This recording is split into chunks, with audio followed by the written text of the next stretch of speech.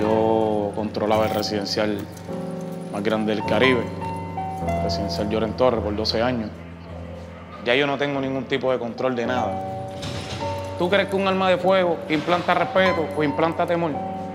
Chicos, sé inteligente. Un arma de fuego te puede llevar a la cárcel o a la tumba. ¿Qué pasó? Levántate, vamos allá.